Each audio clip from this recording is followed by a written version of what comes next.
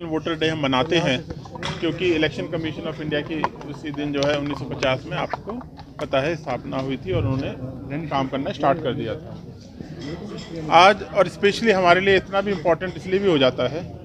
क्योंकि अगर आप डाटा देखें वोटिंग परसेंटेज का तो हम वर्ल्ड की लार्जेस्ट डेमोक्रेसी है तो कहीं ना कहीं मेरी कश्मीर प्रोविंस इस मामले में वोटिंग परसेंटेज में अभी तक पीछे रही है,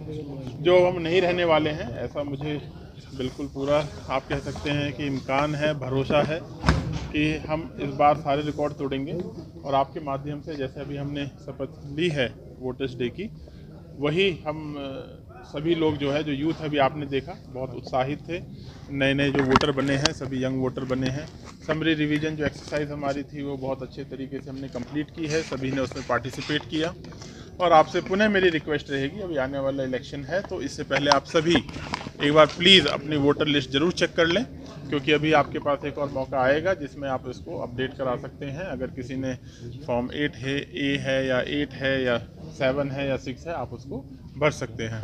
तो अगेन मेरी आपसे फिर से रिक्वेस्ट है कि जैसा वोटर्स डे हम जानते हैं, ये बहुत इंपॉर्टेंट एक्सरसाइज है और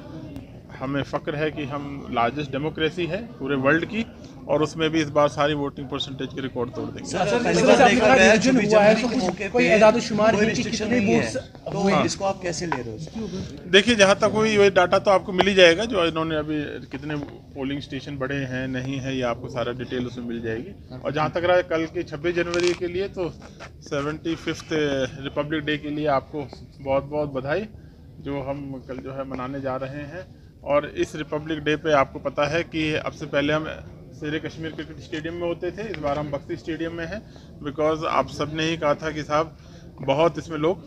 पार्टिसिपेट करना चाहते हैं तो सारे इंतज़ाम उसमें हो चुके हैं। हम और डी सी साहब अपने वहाँ जा रहे हैं, कल फुल ड्रेस रिहर्सल हो गई थी,